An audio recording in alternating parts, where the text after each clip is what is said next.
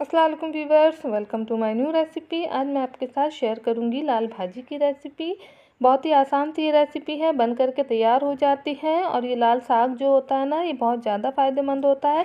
अगर आपको खून की कमी है तो आप प्रॉपर इसको अपनी डाइट में शामिल कीजिए। थोड़ी सी भाजी आप रोज़ाना बनाइए, एक कटोरी आप रोज़ खाइए, जितनी भी आपकी खून की कमी होगी तो वो दूर हो जाएगी।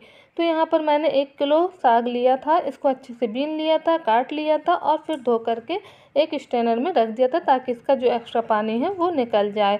और इसको दो से तीन पानी से धोइएगा, क्योंकि इसमें बहुत सारी मिट्टी होती है तो इसलिए इसको साफ़ करके धोइएगा। तो अब चलिए चलते हम लोग अपनी रेसिपी की तरफ़, जहाँ पर हम बनाएँगे बहुत ही बढ़िया चटपटी सी लाल भाजी। तो यहाँ पर मैंने ऑयल ले लिया है, ऑयल अच्छे से गर्म हो गया है। अब हम इसमें डाल देंगे हाफ़ टी स्पून ज़ीरा, उसके साथ में हम डाल देंगे हाफ़ टी स्पून कलौजी। और साथ में हम दो से तीन कलियाँ जो है लहसुन की ले लेंगे, उनको कट करके हम इसमें डाल देंगे। आप चाहें तो इसी तरह से साबित भी डाल सकते हैं। लहसुन को डाल देंगे और लहसुन को हम थोड़ा सा गोल्डन फ्राई करेंगे। जब लहसुन अच्छे से गोल्डन फ्राई हो जाएगा, फिर उसके बाद हम इसमें प्याज को डाल देंगे। प्याज जो है, हमने दो से तीन गाठी यहाँ पर ले ली थी और उसको कट कर लिया था। उसके बाद हम इसमें प्याज को डाल देंगे। प्याज को भी हम गोल्डन फ्राई कर लेंगे। यहाँ पर मैं आपको याद दिला दूँ, अगर आपको मेरी रेसिपी पसंद आ रही है तो आप वीडियो को लाइक कर दीजिए। और जो लोग मेरे चैनल पर नए हैं, वो प्लीज़ चैनल को सब्सक्राइब कर दीजिए। तो प्याज यहाँ पर ब्राउन हो चुकी है। जब प्याज ब्राउन हो जाएगी, तब हम इसमें हरी मिर्ची डाल देंगे। हरी मिर्ची थोड़ी ज़्यादा क्वांटिटी में डालिएगा, ताकि भाजी थोड़ी चटपटी बने। तो ये हरी मिर्ची जो मैं यहाँ पर इस्तेमाल कर रही हूँ, बहुत ज़्यादा ये तीखी वाली हरी मिर्च है। और अगर आप चाहें तो यहाँ पर लाल मिर्च भी डाल सकते हैं। तो यहाँ पर अब हम डाल देंगे भाजी को, जिसको हमने पहले से धो के कट करके रखा हुआ था। तो सारी भाजी हम यहाँ पर डाल करके ऐड कर देंगे। उसके बाद हम इसको दो तीन मिनट हाई फ्लेम पर ही भूनेंगे। तब फिर बाद में हम इसमें नमक डालेंगे। नमक हम अभी इसमें ऐड नहीं करेंगे। क्या होता है कि भाजी देखने में बहुत सारी लगती है और फिर जब उसी हिसाब से हम कभी कभी होता है कि नमक डाल देते हैं तो नमक हमारा तेज़ हो जाता है। तो भाजी वगैरह में जब भी नमक आपको ऐड करना हो तो जब ये अच्छे से सॉफ्ट हो जाए ना, तब उसमें आप नमक डालिए तो उससे कभी भी आपका नमक तेज़ नहीं होगा और भाजी भी हमारी अच्छी सी बन करके तैयार होगी।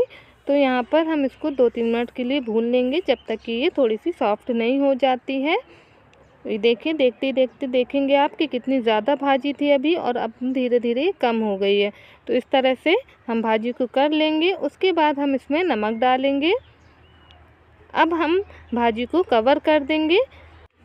तो यहाँ पर मैंने नमक डाल दिया है। आप अपने टेस्ट के अकॉर्डिंग इसमें नमक डाल लीजिए और उसके बाद हम इसको अच्छे से मिला लेंगे। मिलाने के बाद हम इसको कवर कर देंगे। कवर करके 10 मिनट के लिए इसको कुक करेंगे और बीच में हम इसको खोल करके देखेंगे। तो देखिए बहुत सारा पानी इसमें छोड़ देती है भाजी। अभी हमने इसको हाई फ्लेम पर पकाया ना तो कम पानी, अगर आप इसको फ़ौर ही लो फ्लेम पर रख देते तो इसमें बहुत सारा पानी हो जाता है, इसलिए पहले से इसको स्टैनर में रख दीजिए धो के ताकि पानी इसका कम हो तो कुकिंग टाइम भी कम लगता है और आपकी गैस भी कम खर्च होगी, वरना बहुत सारा गैस वो पानी सुखाने में ही ले लेती है।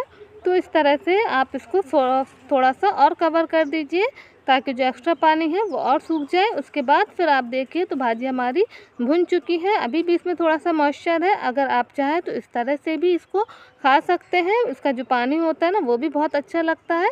या फिर आप इसको पूरी तरह से भून लीजिए। तो हाई फ्लेम करके इसको दो तीन मिनट के लिए अच्छे से भून लीजिए। तो यहाँ पर देखिए भाजी जो हमारी बन करके रेडी हो चुकी है। बहुत ही टेस्टफुल ये भाजी लगती है। आप इसको दाल चावल के साथ खाइए, रोटी के साथ खाइए। ऑल टाइम ये भाजी बहुत ज़्यादा अच्छी लगती है और बहुत ज़्यादा ये फ़ायदेमंद भी होती है। अगर आपको खून की कमी है तो आप ज़रूर एक कटोरी नाश्ते में या फिर लंच में कभी भी आप एक कटोरी ये लाल भाजी खाइए। आपकी खून की कमी देखिएगा, बहुत जल्दी से दूर हो जाएगी। वीडियो अगर अच्छा लगे तो उसको लाइक कर दीजिएगा और आगे शेयर भी कर दीजिएगा। और जो लोग नए हैं, चैनल को सब्सक्राइब कर दीजिएगा। मिलते हैं हम आपसे अगली रेसिपी में। जब तक के लिए अल्लाह हाफिज़। हो गई।